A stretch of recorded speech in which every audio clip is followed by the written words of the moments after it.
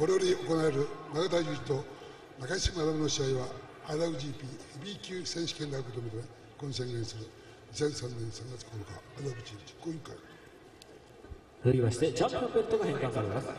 表情を一つ変えずにチャレンジャーそしてチャンピオンがタイトルマッチ宣言に耳を傾けていました。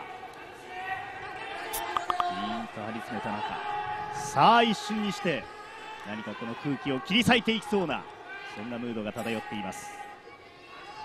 ついにこの2人ベルトをかけて激突。永遠なるライバル対決。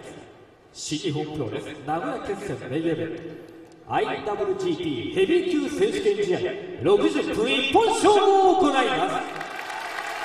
青コーは挑戦者116センチ120キロ。中西さの象徴である。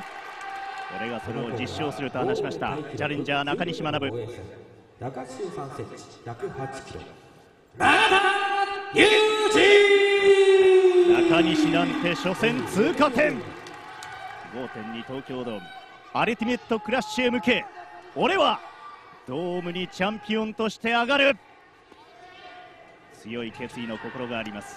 チャンピオンの永田裕二9度目の防衛戦。